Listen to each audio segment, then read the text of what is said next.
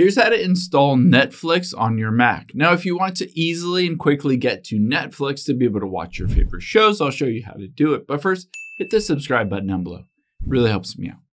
Thanks, guys. Now, I'll show you in Google Chrome as well as Safari.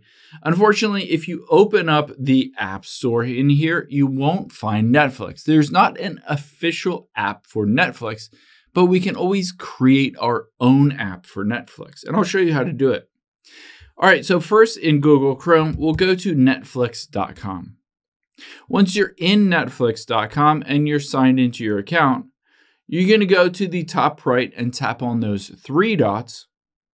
And then you're going to go down to cast, save, and share.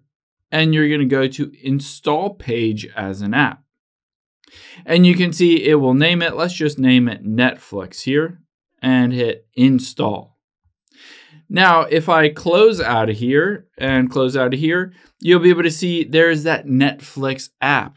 All I need to do is drag it down to my dock. If I click on it, it automatically opens up Netflix.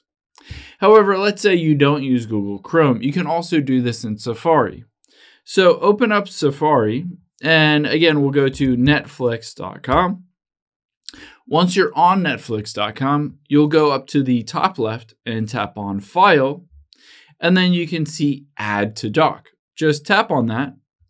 And again, we'll just name this Netflix and hit Add.